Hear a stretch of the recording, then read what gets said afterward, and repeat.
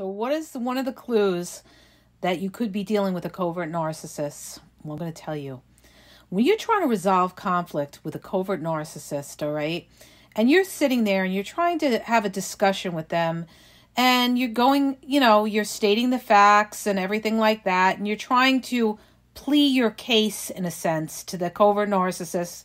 You're waiting for them to validate you. They're wait. You're waiting for some kind of um, affirmative reaction reaction where they say, "Oh, okay, I see what you're saying," or "Yeah, that makes sense," or anything like that. And guess what that covert narcissist does?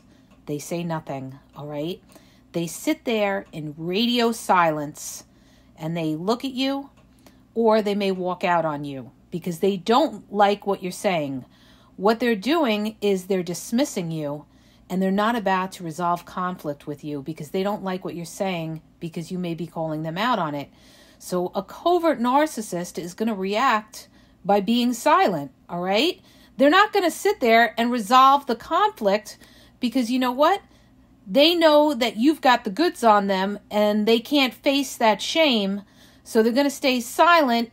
And if they're staying silent or they don't walk out on you, they're sitting there thinking about how they're going to get back at you later on in a passive aggressive manner, all right?